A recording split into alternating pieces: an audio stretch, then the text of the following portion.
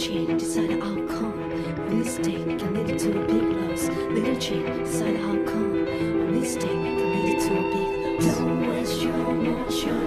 You are gifted, useful, or just